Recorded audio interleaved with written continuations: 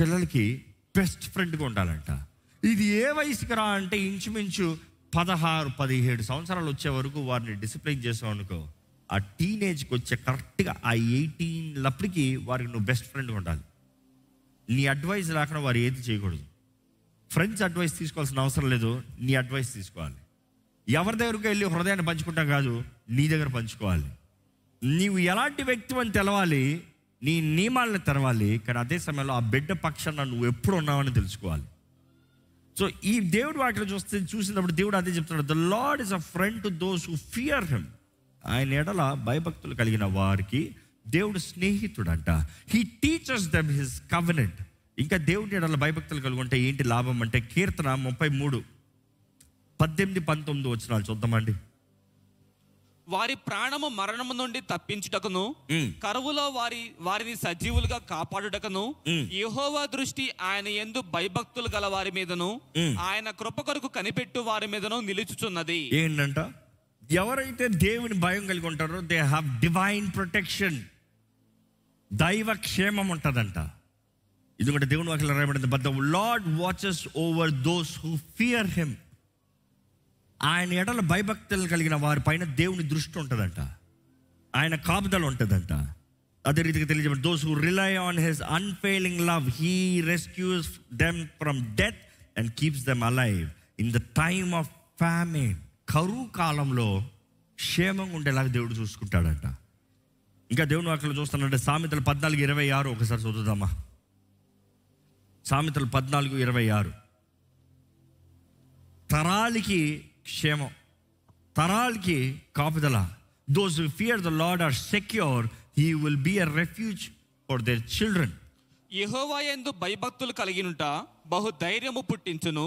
అట్టి వారి పిల్లలకు ఆశ్రయ స్థానము కలదు అటువంటి పిల్లలకి అటువంటి వారి పిల్లలకి ఆశ్చర్యస్థాని స్థానము. It it talks about generational protection కీర్తనలు ముప్పై నాలుగు తొమ్మిది ఒకసారి చదువుదామా?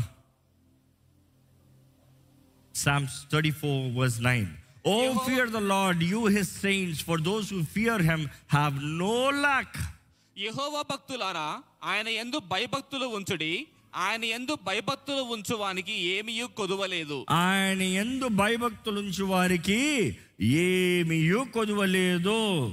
ఏమియూ కొదువలేదు. ఏమియూ కొదువలేదు.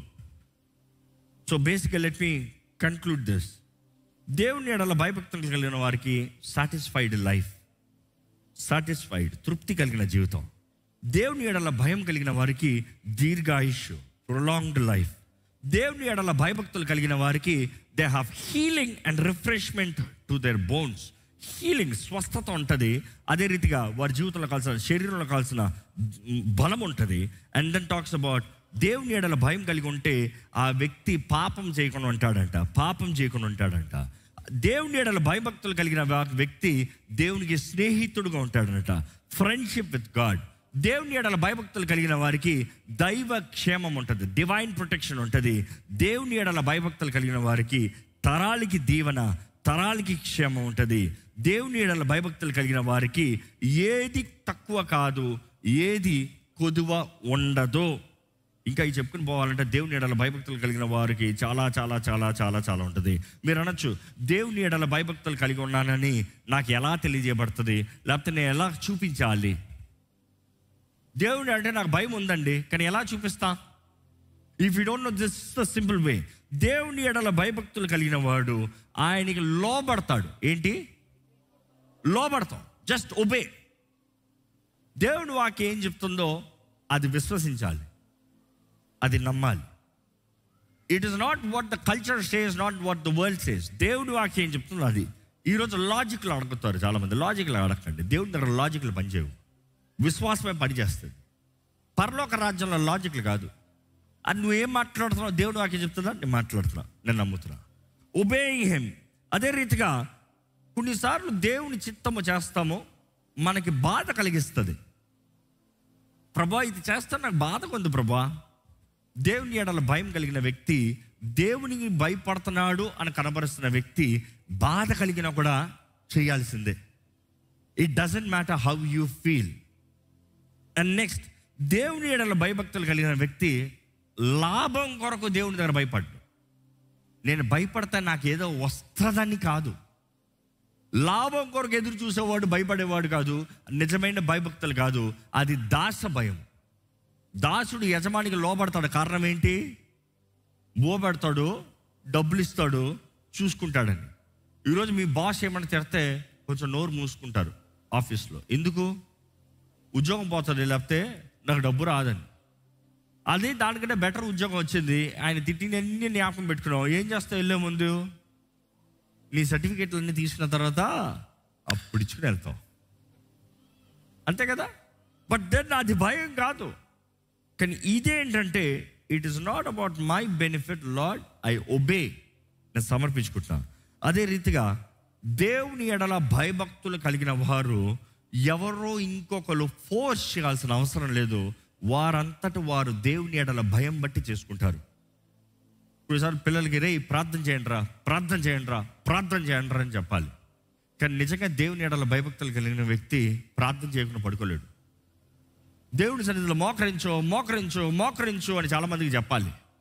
కానీ దేవుని ఎడల భయభక్తులు కలిగిన వారు మోకరించు అని చెప్పాల్సిన అవసరం లేదు. మోకరించకపోతే ఒకలాంటి గిల్టీ ఫీలింగ్ వచ్చేస్తుంది.